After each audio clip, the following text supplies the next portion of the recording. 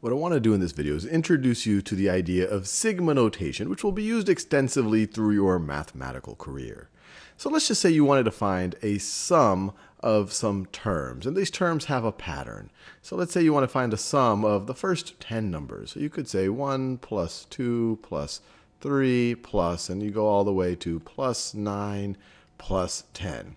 And I clearly could have even written this whole thing out, but you can imagine it becomes a lot harder if you wanted to find the sum of the first 100 numbers. So that would be 1 plus 2 plus 3 plus, and you would go all the way to 99 plus 100. So mathematicians said, well, there must let's let's find some way to, to some notation instead of having to do this dot dot dot thing, which you will see sometimes done, so that we can more cleanly express these types of sums. And that's where sigma notation comes from. So this sum up here, right, right over here, this first one, it could be represented at as, and sigma, this use a capital sigma, this Greek letter right over here. And what you do is you define an index. And you could say, and you could start your index at some value. So let's say your index starts at 1.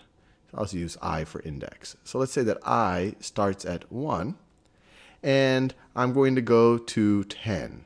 So i starts at 1, and it goes to 10, and I'm going to sum up the i's.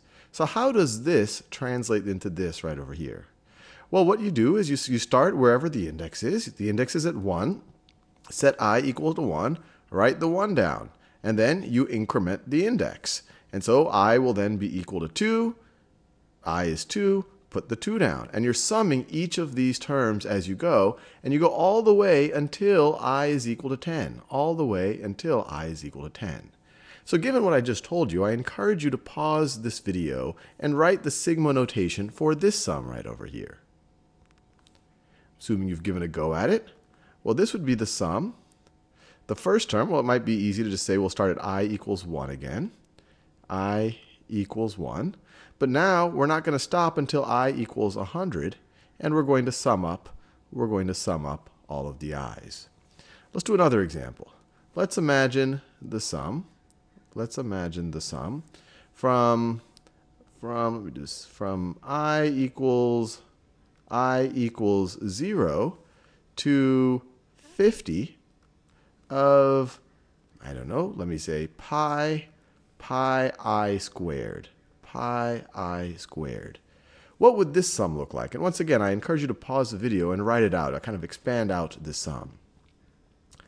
Well, let's just go step by step. I, when i equals 0, this will be pi times 0 squared. And that's clearly 0, but I'll write it out. Pi times 0 squared.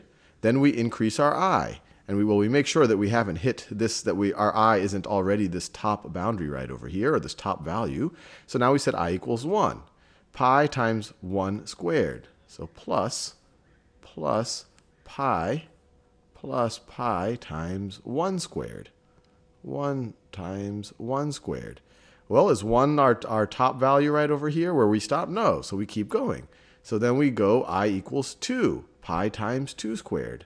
So plus plus pi times 2 squared. Pi times 2 squared. I think you see the pattern here. And we're just going to keep going all the way until at some point we're going to keep incrementing our i. i is going to be 49, so it's going to be pi times 49 squared. Pi times 49 squared. And then finally we increment i. i equal becomes 50, and we're going to have plus pi times pi times 50 squared. And then we say, okay, our i is finally equal to this top boundary, and now we can stop.